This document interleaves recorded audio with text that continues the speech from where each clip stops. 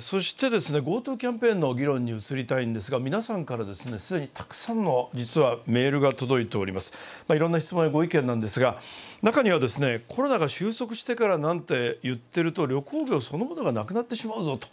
いうふうに言う立場の方これに対してですねこれ利権絡みじゃないのとおかしいじゃないかという声あるいは旅行先で感染したらこれ誰が責任を取るのかという反対意見も数多く届いています。こうしたことをですねあの与野党の議員の方もお呼びしてます議論していきたいというふうに思います。まずはえ今日ですねあの週末の世論調査がいろいろ出揃いまして見ておきます高田さん。はい、そちらの結果を見ても否定的な意見が多いのが分かります。週末に各社が行った GoTo トラベルあさってから開始についての世論調査の結果なんですが日経新聞の調査ですと80%の方が早すぎると言っていまして朝日新聞ですと74%が反対毎日新聞は69%が東京以外も見送るべきとしていて共同通信の調査ですと62.7%の人が全面的に延期した方がいいのではないかという意見になって否定的なものが目立ちます。うんまず武井さんはあの GoTo キャンペーンを推進する立場で今日来ていただきましたがこの世論調査の結果どうご覧になりますか？そうですね。やはりまあ非常に厳しい意見があることも承知してますしまた、はい、えー、先ほどもお話ありましたまあいろいろとこう混乱があることはですね、はい、大変あの重く受け止めているわけですがただ先ほど1点だけそのあの先ほどのアンケートのお声の中でまあ利権がみたいな話もあったんですが一つだけこれご理解いただきたいのはですね、はい、まあ観光業というのはですね現状で観光業で働く会社が100万社働く方が大体845万人というのが最新のデータですがそれは代理店も交通機関も宿屋さんとかいろんな人も含めて売上が90兆ですからそういう意味で2000万人ぐらいの人の生活を支えている業界である。ということはですねぜひご理解いただきたい。それでその加えて例えば今までもですねいろんな九州北部豪雨とか北海道の地震であるとかですね、うん、ご地元のですね、うん、西日本豪雨いろんなところで復興割ってやってきてですからやはり決してこれ利権とかではなくて、うん、やはりそれが非常に観光さあの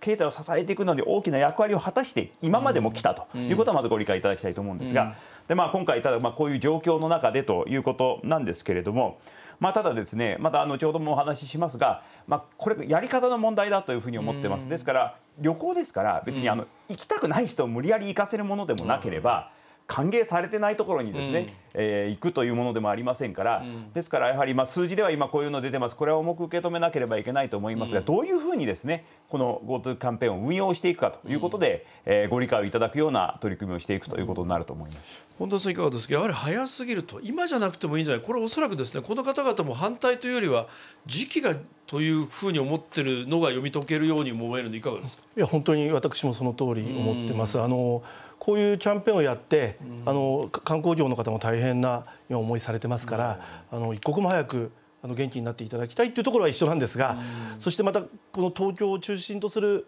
まあ、第2波のような波が来なければ私たちもそれは言ってこういうこと声は出てこなかったと思うんですただこの波を見た時にやはりいっぱい今立ち止まって延期をすべきだっていうことを強く主張しています。なるほど、ね、はい、あのどういうやり方が今武井さんがまさにおっしゃいましたがどういうやり方がいいのかこの後議論していきますが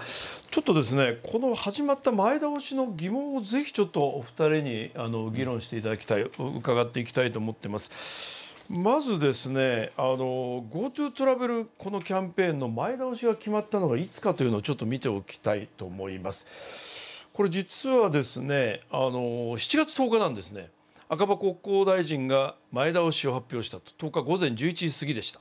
ところが10日のですね感染者東京を見ると243人と過去最多を記録したんですねこれ仮にもし赤羽さんが今日の数字をまだご存じなかったとしてもですね前の日224人と急激に上がって200人台になっているわけですねなぜこの時にあえてですね急いで前倒しをしたのかというのがいまだにこれ正直謎だと言ってもいいと思うんですね。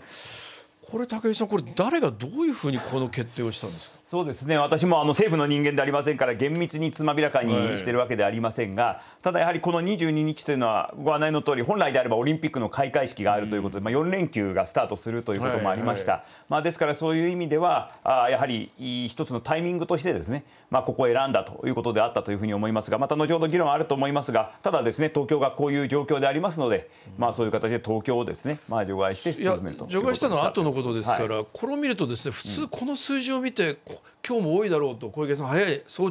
かなり朝の段階で今日も多いと言ってます。その段階で前倒しはやっぱりなと普通だったら議論して見合わせるということになりやもしれないと思うんですが後ほどそうやってバタバタしてひっくり返すわけですから